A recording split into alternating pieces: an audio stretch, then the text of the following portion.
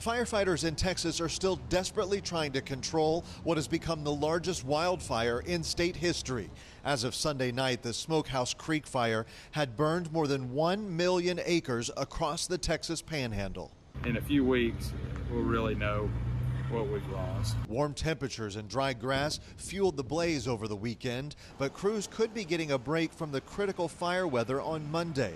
Forecasters say cooler weather and a change in wind patterns will sweep across the state, which could help containment. If you see a column or you see a clouds of smoke, call that in. That we that is a fire. Since this fire ignited last week, emergency officials estimate hundreds of structures have been destroyed.